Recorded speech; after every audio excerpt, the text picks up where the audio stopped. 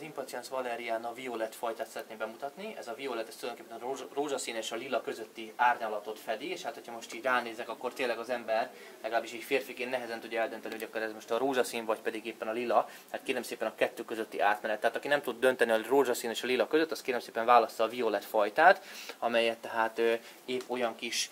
koszka cserében forgalmazok, illetve viszem ki a, a kertészetemből ugye ezeket a nagyon szép kis ö, ö, virágokat, ezeket a picike kis impacienszeket, amelyeket hát itt most ugye egy összekészítő asztalon vannak, és gyakorlatilag egy ilyen átláthatatlan szőnyeget alkotnak, de akkor, amikor önökhöz megérkezik, akkor itt talán be tudom mutatni, hogy jellemzően mondjuk egy ilyen 20 centis tői sortávolságban, egy ilyen kis kötésbe, hogyha lerakják ezeket a növényeket, akkor tulajdonképpen egy, alig egy, egy két-három héten belül tökéletesen sűrűre be tud nőni. Arra figyeljenek oda, hogy akkor, amikor ugye elültetnek egy ilyen tövet, akkor is szépen így megfogják, többször így határozottan, de óvatosan megnyomkodják a cserepet. Nagyon szépen ugye a már begyökeresedett növény, gazdagon begyökeresedett kis egynyári növényem az ki fog jönni, és fontos az, hogy a talajszintet az ültetésnél pontosan eltalálják, hogy az itt legyen, ne temessék el, mert elrohadhat, illetve semmennyi ne logjon ki belőle. Tehát kérem szépen a violet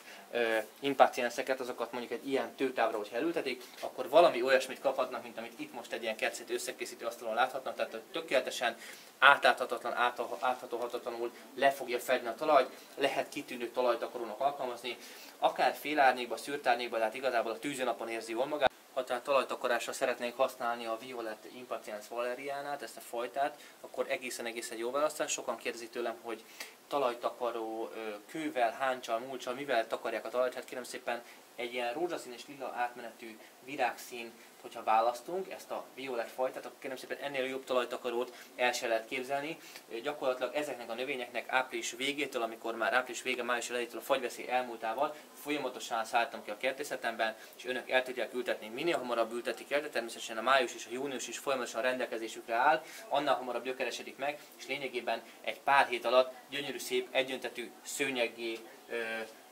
varázsolódik ez a nagyon szép Violet Impatiens Valeriana.